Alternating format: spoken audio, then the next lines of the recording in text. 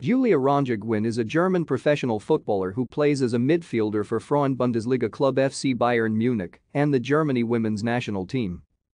Gwinn started playing football at the age of 8 years for TSG Ailingen and later for VfB Friedrichshafen. In 2009, she began a five-year spell at FV Ravensburg.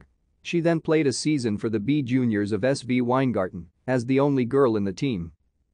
In 2015, Gwinn joined Frauen Bundesliga team South Carolina Freiburg for the 2015-16 season at the age of 16 years.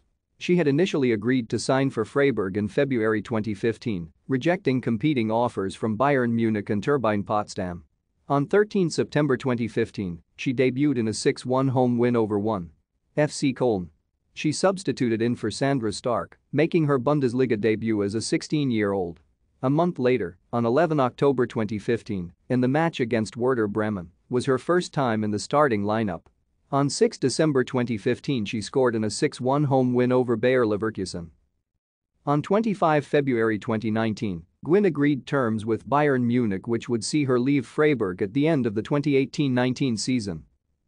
Gwinn has represented Germany on the under-15, under-16, under-17, under-19 and under-20 national teams.